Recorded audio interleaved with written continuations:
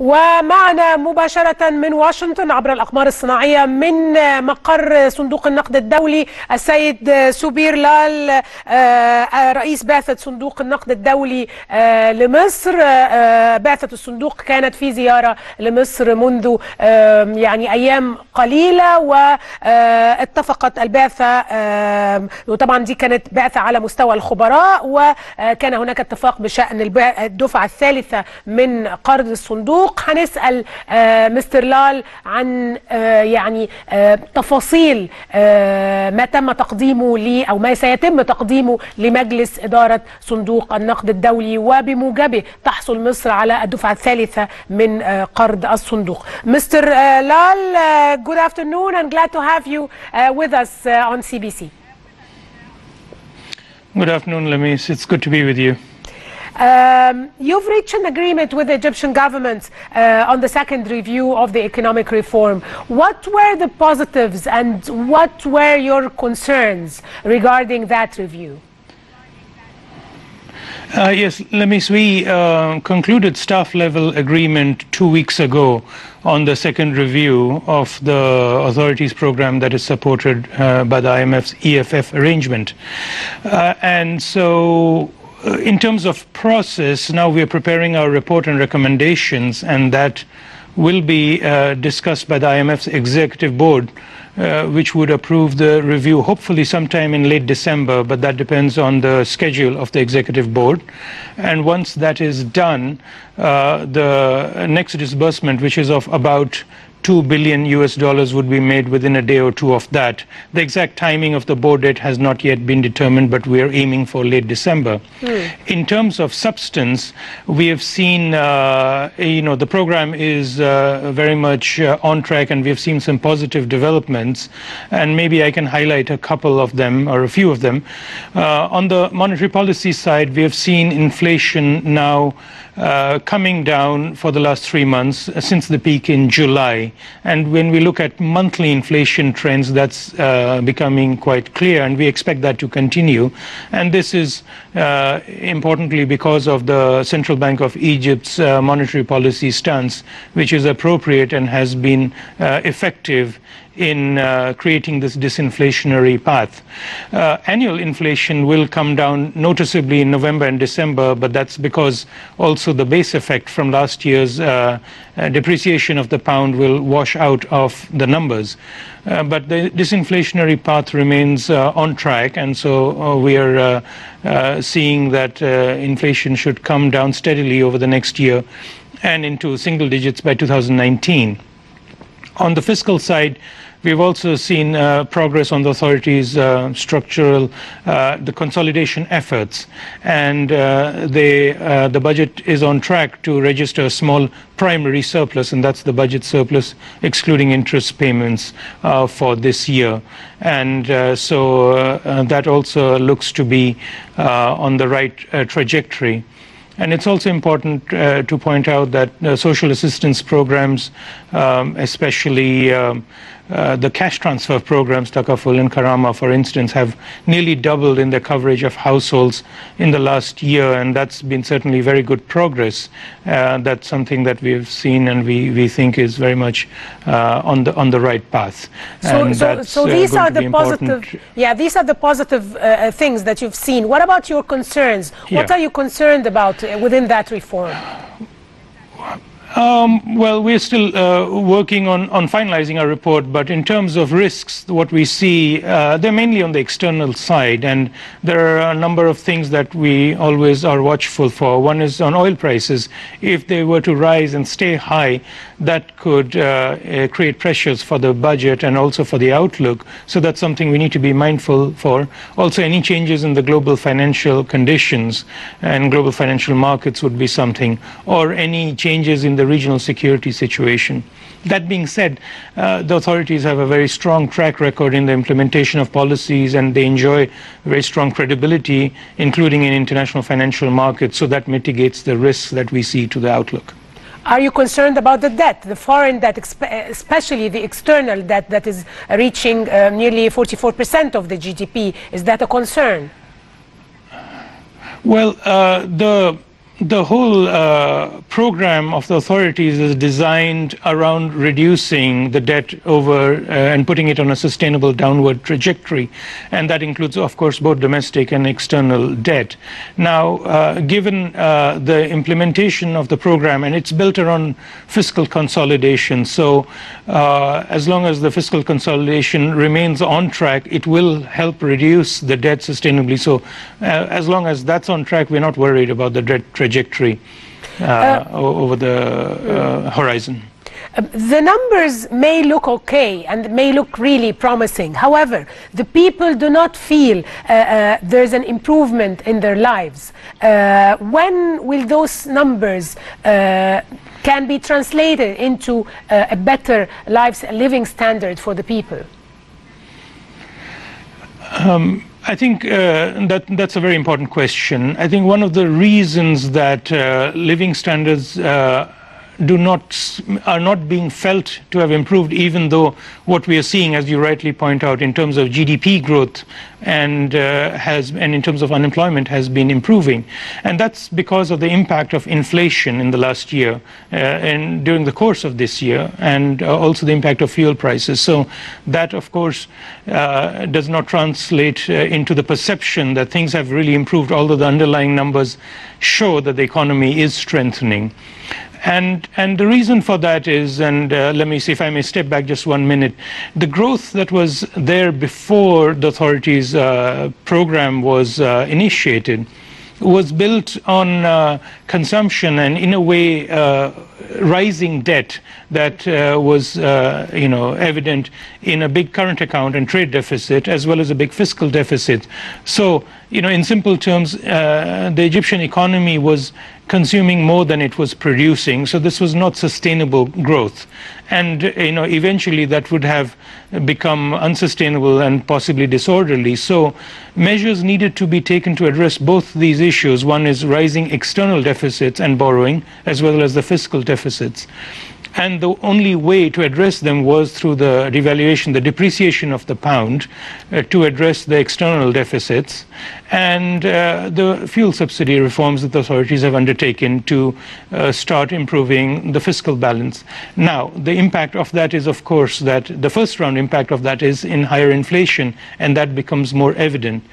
But with the policies that have been put in place and the inflation track we are seeing, uh, we are confident that uh, the, the positive effects of these reforms will be felt in the near future and in overcoming months and quarters uh, because inflation uh, will continue to decline. And so, uh, in terms of living standards, that will be felt much more clearly, especially, I think, uh, 2018 will be transformational in that regard. But importantly, it will be built on uh, more solid foundations for the economy and more sustainable growth, which means an economy that is uh, consuming uh, as much as it is uh, producing and not uh, what was going on for a long time before uh, these reforms were implemented, which was that the economy was consuming more than it was producing. So it was a necessary short-term adjustment to deal with these imbalances, and the short-term impact of that was on inflation and on, on fuel prices. But it lays the foundations for much stronger and sustainable growth going forward. But not only uh, the people do not feel the, the, the, the improvement in the uh, or, or, the translation of these numbers in their living standards, but we do not see the improvement in the real economy. What we can see uh, is an improvement in the financial uh, um, in the papers and in the numbers, in the deficit, uh, and the growth figures, uh, fine. However, the real economy, the um, FDI, the industry, the exports, the improvement is really very minimal. Uh, when will this move? Because this is translated into jobs, and that's this is what will uh, improve people's lives. Uh, yes, uh, I think, Lamis, you make a very good point. I think it's important to differentiate the short term or the near term from the long term objectives. I mean, the authorities program's long term objective is, of course, to, to reach a higher potential level of growth for the Egyptian economy and to sustainably create jobs uh, for the growing population. And that uh, is the ultimate aim of all these reforms. Now, the short term macroeconomic uh, stabilization that I was talking about are important necessary conditions. And uh, but over the medium and long term, of course, uh, the factors you mentioned, increased investment, and this has to be private sector investment given the needs of the economy, and exports need to rise. For that, macroeconomic stabilization is a necessary condition, but it is not sufficient. And the authorities are well aware of that, and they've made important, uh, uh, an important start to implementing reforms that are needed to improve the economy's long-term growth potential and to make it more uh, uh welcoming uh, to foreign direct investment by improving the business environment, for example. And uh, the recent investment law and the industrial licensing law, those are important beginnings of this process. And once this process of structural reforms, which have to address, uh, you know, conditions that have been in place for many years and decades, they take time and they need to be carefully thought through and sequenced. So the first stage is macroeconomic stabilization. The second is, you know, broadening the scope of structural reforms to create the conditions for private sector-led investment job uh, growth and uh, trade. Mm. This would also, of course, make uh, help the transformation of the Egyptian economy into a, a dynamic, modern, and flexible economy, which would become uh, an engine of growth also for the region as a whole. But, uh, you know, the process has begun, and we expect that process will continue. Uh, and, and those will be needed to ensure uh, high growth rates in the long term and sustained job creation in the long term. What is left uh, of the reforms to be implemented uh, during the coming year or, or two years, for instance? I think uh, there are a few key things that have, are already underway and that need to be, of course, carried through uh, uh, to, to ensure that the gains that we are now beginning to see in terms of macroeconomic stabilization are locked in. Uh, in terms of monetary policy, the Central Bank of Egypt's new uh, framework uh, for monetary policy and exchange rates is, has been, and, and letting the exchange rate float was an important element of that, that is getting firmly entrenched over time and, and that's something we see the process uh, very quickly uh, coming to, to this uh, new framework and uh, settling in and moving away from fixed exchange rates that were the norm in the past. So that's well underway. On the fiscal deficit, of course, the authorities program has a 5.5% adjustment over the course of three years. That needs to be taken uh, forward uh, and, and underpinned by measures. And the third part is on the social assistance and ensuring that there are sufficient resources to invest in health, education, and social assistance programs for those who need it the most. So those are important things that need to be carried through to fruition. Important progress has already been made, and uh, but uh, this needs to be taken through to completion. In addition, the structural reforms that I was just talking about, those will be important to get the process uh, fully underway uh, once macroeconomic stabilization is in place to ensure that this continues. And, and those reforms, reforms are an ongoing process for every economy, yeah. and they will go on uh, over time and what, what was, conditions over yeah, time. What was your advice to the government uh, in terms of private sector, in, in terms of uh, uh small and medium enterprises, in terms of, uh, of the interest rate? this interest rate uh, cannot go on with that level for the investment. What were your advice in those parts? So, uh, in terms of, uh, I think there was broad agreement that you know uh, the objectives of the program are the right ones in terms of creating investment, employment, uh, and higher levels of growth, and that this will need to be led by the private sector, and that reforms need to be undertaken to make sure that uh, uh, this kind of job-rich growth is entrenched permanently. And so, uh, but at the same time, we of course also agreed that macroeconomic stabilization is an essential precondition. So there was agreement on, on all sides on, on those priorities. In terms of interest rates, well, there are two elements. One is that interest rates are uh, high right now because uh, the adjustment and uh, high levels of inflation required high interest rates to contain any second round effects. Now those we expect will start diminishing. The other part, importantly, for the interest bill is, of course, the stock of debt. And the only way to reduce the interest cost uh, uh, on the economy is by reducing the fiscal deficit and the debt. And that is obviously part of the authorities program.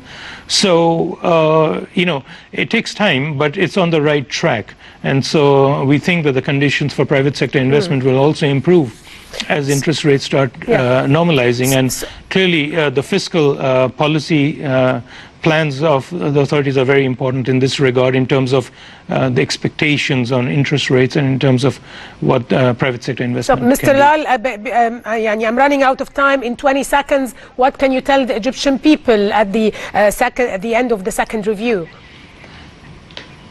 Well, uh, the second review will be completed when the IMF Executive Board meets for it. But Yeah, what uh, I can say is that you know uh, it's it's clear that uh, you know the Egyptian uh, people and population has had to endure many sacrifices this year, but uh, it was necessary and in some ways unavoidable to get to a much more stable path. And I think next year will be transformational. It'll be felt in terms of improved conditions, sustainability, and creating long-term growth. So, you know, their their patience is very uh, highly uh, appreciated and respected. But we think that uh, the payoffs are beginning to come.